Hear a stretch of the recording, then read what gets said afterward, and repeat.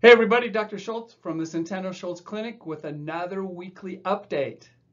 Today we're continuing our thoracic spine series and today in particular we're going to be talking about what in the world is a thoracic radiculopathy. So thanks for checking in and let's get started. So the goals of this short presentation are to discuss what in the world is the thoracic spine and where is it? What is a radiculopathy? What are the major causes of a thoracic radiculopathy? What are the functions of a nerve? And what are the symptoms of a thoracic radiculopathy? So where is and what is the thoracic spine? It's that section of the spine below the neck and above the lumbar spine. So it's, sometimes it's referred to as the mid-back. And what is a radiculopathy?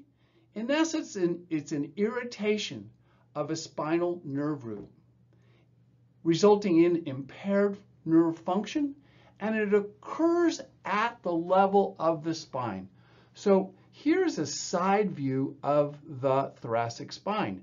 This is the top, this is the bottom, and again, this is a side view.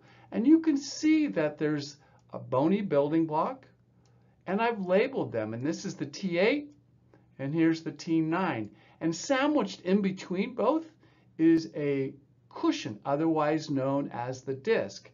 And this is the front, and this is the back of the spine. And you can see I've depicted here, there's this little hole. It's a bony doorway, otherwise known as the neuroforamen. This is in red, and this is in red.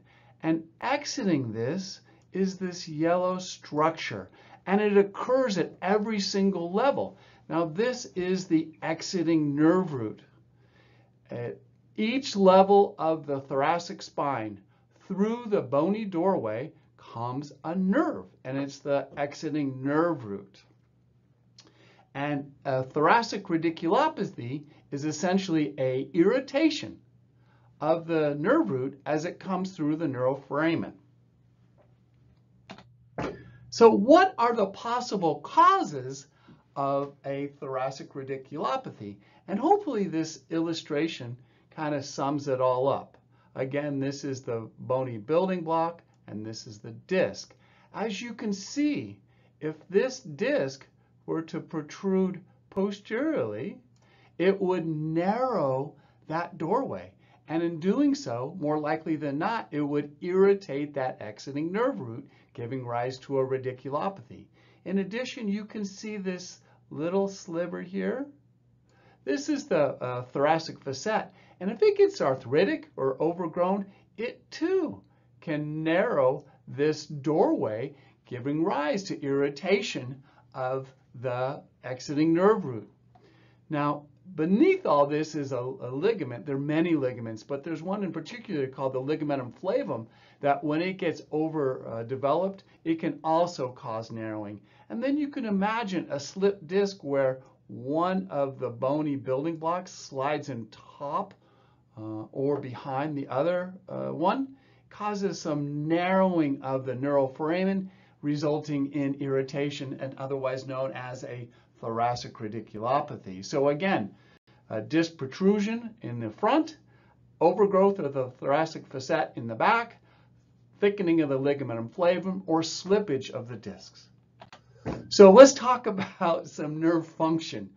Um, in, they have many different functions, and in this one I want to talk about motor. Basically, it controls motor function of the muscles in the thoracic spine, chest, and abdomen. So whether you're of my generation and it's Popeye or Thor current, um, there has to be an electrical signal that comes out of the neck and gives information to the muscle such that you get Popeye or Thor biceps.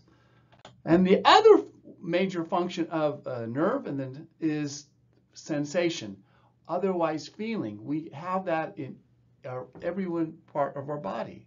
So the symptoms of a thoracic radiculopathy depend upon which nerves are affected and then the degree of injury. So let's take a deeper look. One of the major symptoms is pain. And the pain can be either, either localized or it can be actually radiating along the path of the nerve. It can be a burning and electrical pain, and sometimes people think it's something like shingles, that debilitating deep pain. Other symptoms are numbness and tingling, like you just came out of the cold day of skiing in the back bowls in Vail or you've been ice fishing. The other function is where you have impact of that signal go that goes to the nerve, I mean, goes to the muscle, and you have muscle weakness. That's right, muscle weakness. It can be in either the upper or lower extremities. And some of the early symptoms are someone may complain of difficulty walking, and when it gets a little more progressive, they may actually complain of bowel or bladder dysfunction. So a thoracic radiculopathy is basically an irritation of a nerve root at the level of spine. There are multiple causes that we discussed, a disc injury, a disc protrusion, facet overgrowth, thickening of the ligaments, and or slippage of the vertebral bodies. At the Centeno Schultz Clinic, we are experts in the evaluation and treatment of thoracic pain and injuries. We are double boarded, board certified physicians, and we offer a litany of different treatment options, which included guided uh, either ultrasound or x-ray injections with either PRP or bone marrow. If you or a family member are on the sideline as a result of a thoracic radiculopathy, please consider a consultation and thank you so much for checking in today and learning about what is a thoracic radiculopathy. Till next week, thank you for your time.